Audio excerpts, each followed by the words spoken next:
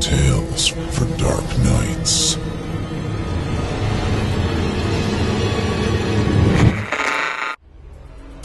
The following performance is a second round entry in the 2016 Evil Idol competition, and you, the listener, get to help decide who wins. Like what you hear? Click the thumbs up. Don't care for it? Click the thumbs down. Good luck to all of our contestants.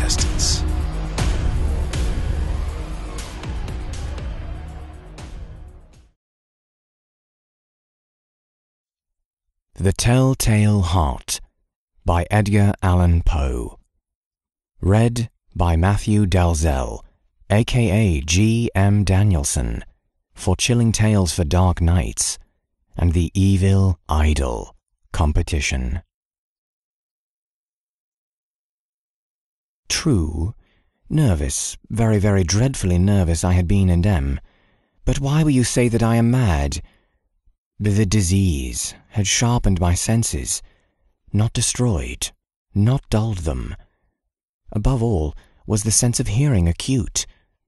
I heard all things in the heaven and in the earth. I heard many things in hell. How then am I mad? Hearken, and observe how healthily, how, how, how calmly I can tell you the whole story. It is impossible to say how first the idea entered my brain, but once conceived, it haunted me day and night. Object there was none, passion there was none. I loved the old man. He had never wronged me. He had never given me insult. For his gold I had no desire. I think it was his eye. Yes, it was this. He had the eye of a vulture, a pale blue eye with a film over it. Whenever it fell upon me, my blood ran cold. And so by degrees, very gradually, I made up my mind to take the life of the old man, and thus rid myself of the eye forever. Now, this is the point. You fancy me mad. Madmen know nothing. But you should have seen me. You should have seen how wisely I proceeded, with what caution, with what foresight, with what dissimulation I went to work. I was never kinder to the old man than during the whole week before I killed him. And every night, about midnight, I turned the latch of his door and opened it, oh, so gently.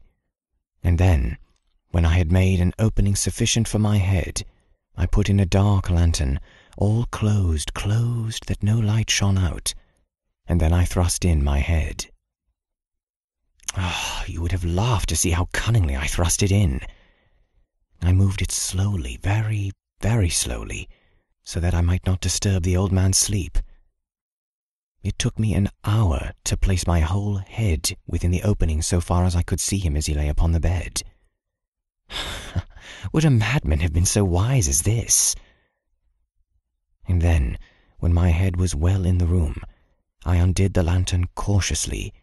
Oh, so cautiously, cautiously, for the hinges creaked. I undid it just so much that a single thin ray fell upon the vulture eye. And this I did for seven long nights, every night just at midnight. But I found the eye always closed, and so it was impossible to do the work, for it was not the old man who vexed me, but his evil eye.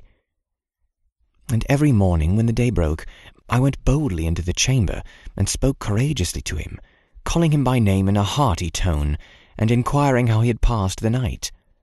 So you see, he would have been a very profound old man indeed, to suspect that every night, just at twelve, I looked in upon him while he slept. Upon the eighth night, I was more than usually cautious in opening the door. A watch's minute hand moves more quickly than did mine. Never before had I felt the extent of my own powers, of my sagacity. I could scarcely contain my feelings of triumph. To think that there I was, opening the door little by little, and he not even to dream of my secret deeds or thoughts. I fairly chuckled at the idea. And perhaps he heard me, for he moved on the bed suddenly, as if startled. Now you may think that I drew back, but no. His room was as black as pitch with the thick darkness, for the shutters were closed through fear of robbers, and so I knew that he could not see the opening of the door, and I kept pushing it on steadily, steadily. I had my head in and was about to open the lantern when my thumb slipped upon the tin fastening, and the old man sprang up in bed, crying out, Who's there? I kept quite still and said nothing. For a whole hour I did not move a muscle, and in the meantime I did not hear him lie down. He was still sitting up in the bed listening, just as I have done, night after night, hearkening to the death watches in the wall. Presently I heard a slight groan, and I knew it was the groan of mortal terror. It was not a groan of pain or of grief. Oh, no. It was the low, stifled sound that arises from the bottom of the soul when overcharged with awe. I knew the sound well.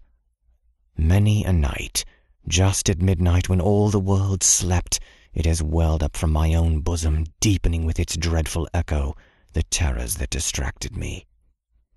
I say I knew it well. I knew what the old man felt, and pitied him, although I chuckled at heart.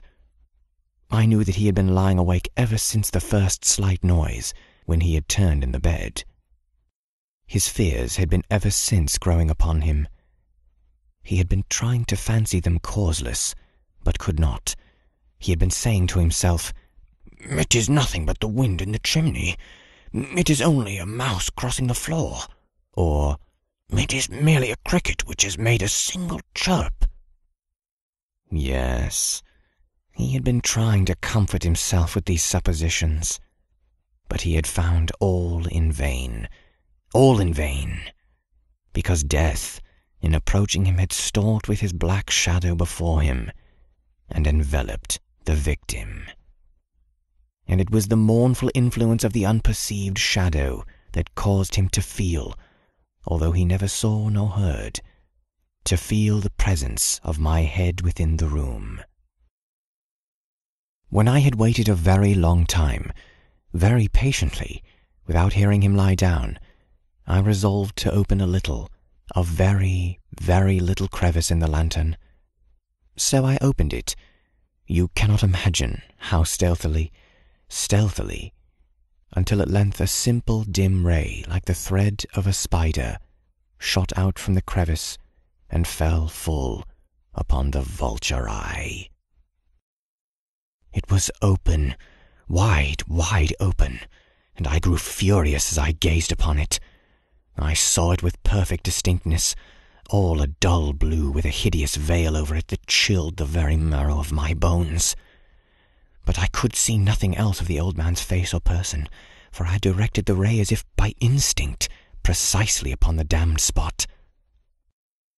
And have I not told you that what you mistake for madness is but over acuteness of the sense?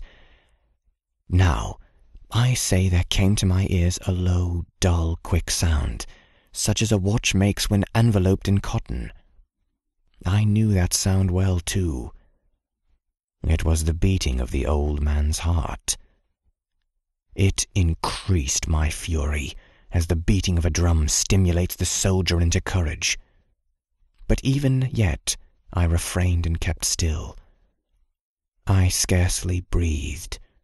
I held the lantern motionless. I tried how steadily I could maintain the ray upon the eye. Meantime, the hellish tattoo of the heart increased. It grew quicker and quicker, and louder and louder every instant. The old man's terror must have been extreme. It grew louder, I say, louder every moment. Do you mark me well? I have told you that I am nervous. So I am. And now, at the dead hour of the night, amid the dreadful silence of that old house, so strange a noise as this excited me to uncontrollable terror. Yet for some minutes longer I refrained and stood still, but the beating grew louder, louder. I thought the heart must burst. And now a new anxiety seized me. The sound would be heard by a neighbor. The old man's hour had come.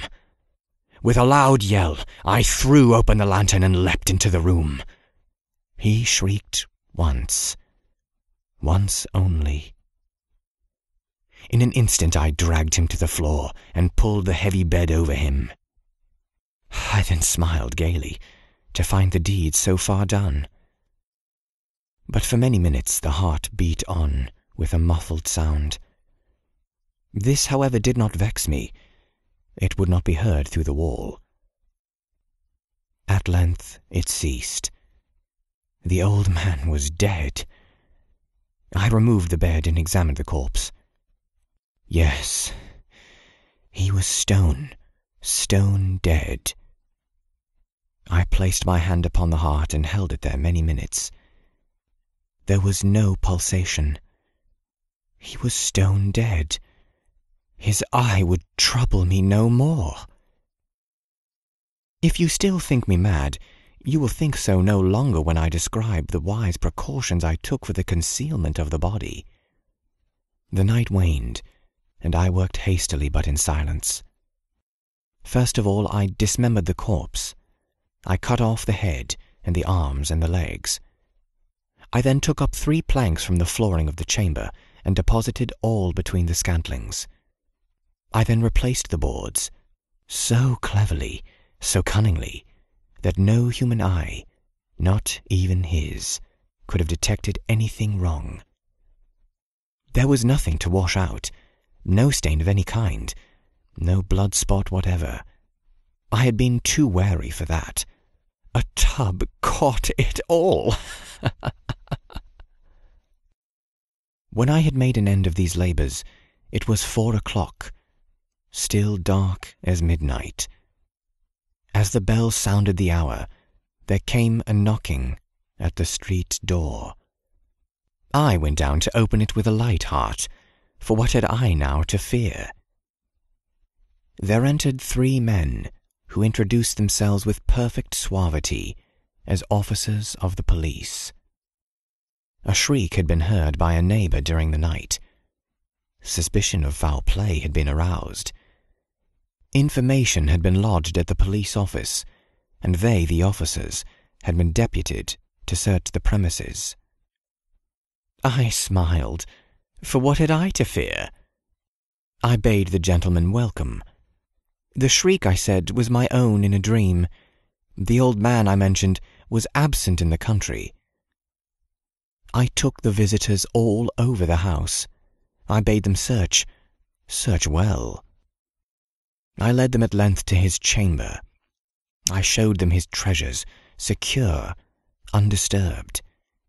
In the enthusiasm of my confidence, I brought chairs into the room and desired them here to rest from their fatigues while I myself, in wild audacity of my perfect triumph, placed my own seat upon the very spot which reposed the corpse of the victim.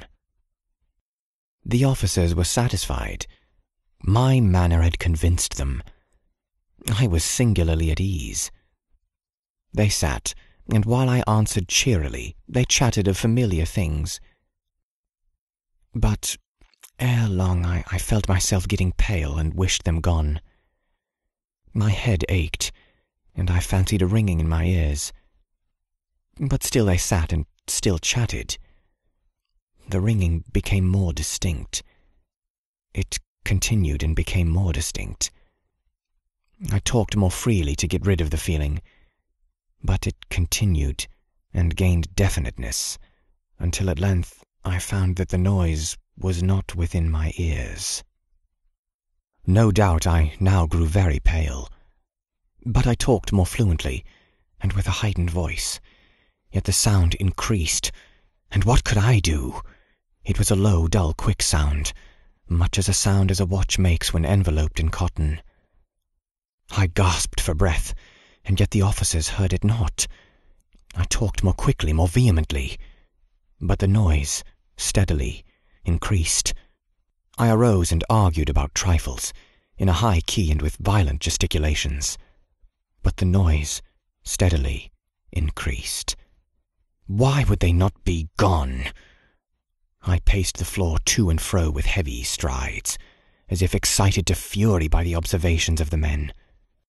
But the noise steadily increased.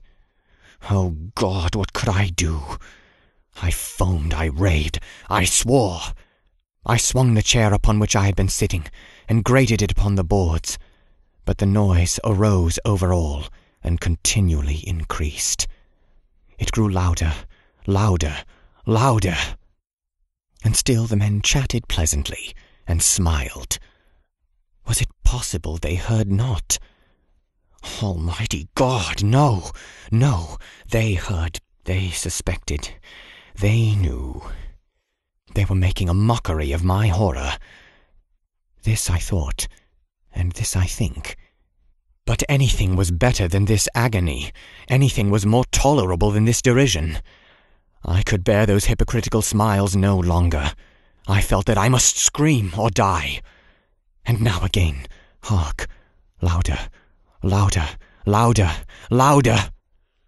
Villains! I shrieked. Dissemble no more! I admit the deed. Tear up the planks here, here!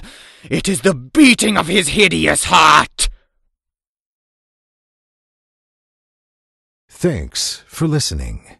If you haven't already, don't forget to cast your vote for this contestant via a thumbs up or thumbs down vote. By doing so, you'll help us determine who will become the next permanent member of our voice acting team.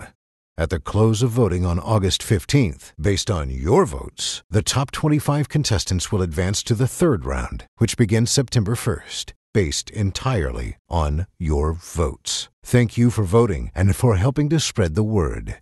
You're listening to Chilling Tales for Dark Nights. I'm Steve Taylor, host of Chilling Tales, the podcast, encouraging you to turn off the lights and turn on the dark. Chilling Tales for Dark Nights.